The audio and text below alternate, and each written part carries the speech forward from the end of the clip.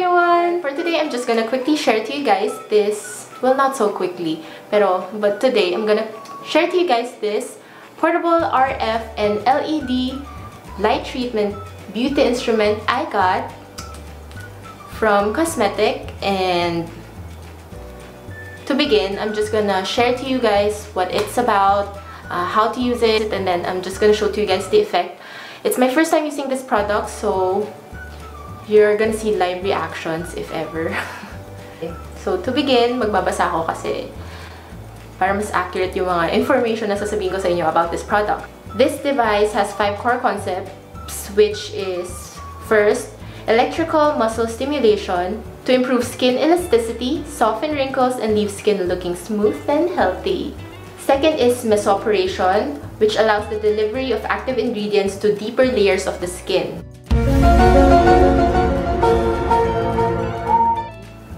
Skin deep yung effect ng device na to. And then, third is electroporation, which provides the means to achieve higher results with your skincare products without the need for needles. And then, RF, hindi na ako magbabasa about. I know. well, I don't know, pero like, I've heard a lot about it. Uh, ang daming artista, a lot of celebrities are using RF. Well, narinig ko lang yun. Uh, parang siyang pinapapayat niya yung face mo. It tightens it or parang removes fat para mas ma-enhance yung bone structure mo, which are your cheekbones and your jawline. So basically, pampapayat lang siya ng cheeks. Which I like kasi tuwing, whenever I gain weight, uh, yung una tumataba talaga sa akin is my face, like yung cheeks ko talaga, arms and legs. Pero, syempre, pag may namimit kang mga tao, yung pinakauna nila makikita sa'yo, yung mukha mo. So, might as well, papayatin mo muna yun. So, and the fifth concept is the LED light treatment, which I'm gonna show to you guys in a while. So, for the LED light treatment, meron siyang six modes para kung paano niya papagandahin yung skin mo. So, first is red, which is this one. It is used to treat wrinkled skin and enhance the regeneration of collagen. Uh, then, three, uh, and then green light is for treatment of dark spots and discolored skin. Blue is for the treatment of acne and oily skin. And then the yellow light is used to brighten the skin. Pink is used to whiten the skin and finally, the pink light, the parang Christmas lights, uh, is used for better absorption of skincare products. So, there. Click mo, mamamatay na siya. Uh, so, sa mga taong hindi mahilig magbasa ng manual, uh, ako, honestly, uh, minsan, hindi rin talaga ako nagbabasa ng manual. So, nanonood din ako mga YouTube videos, how to, ganyan. So, tutulungan ko rin kayo, so you don't have to read the manual anymore, tutulungan ko ka rin kayo paano gamitin yung device na to. First of all, it's very important to know na dapat i-charge mo yung product, this device, for 3 hours. It comes with a charging pod. So yun, ilalagay mo lang siya dito and then connect mo. Meron din siyang cord na kasama. You have to charge it for 3 hours upon receiving it before using it. So, kailangan charge mo muna siya ng 3 hours bago mo gamitin. And then, pag pwede na, let's begin. Which is, yun yung ituturo ko sa inyo kung paano gamitin ngayon. First is, maghilamos ka daw. And then, mag-alcohol ako.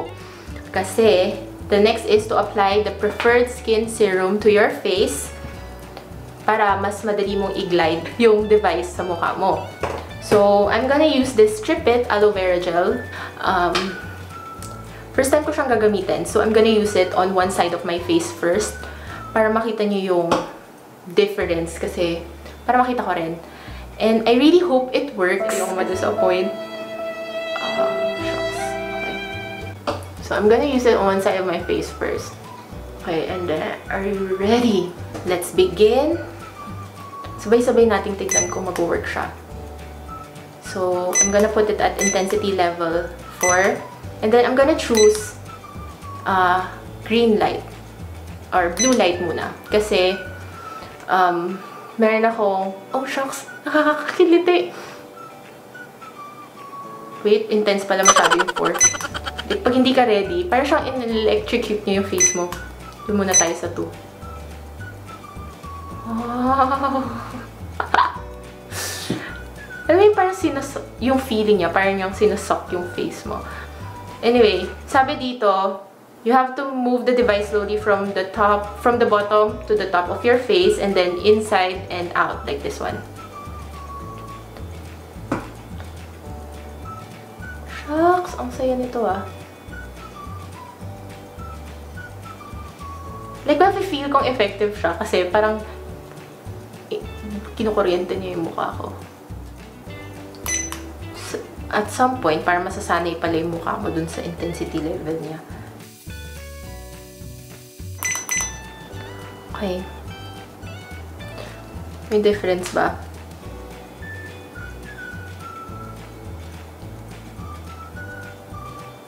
parang mas hindi lang siya poofy. Parang for me, nag-lift yung face ko. Yung side ng face ko. Ano, kesa dito na parang mas soggy. soggy. yung pagkain. So, this one is more lifted, more tightened. So, hmm, effective. Siguro, I'm, I'm gonna try it for a few more days. But for now, papantayin ko muna yung mukha ko. Yung kabila, gagawin ko din. By the way, after using it, make sure you clean your device kasi syempre may mga residue dyan nung, ano, nung skincare product ko. So, make sure you clean it before you store it.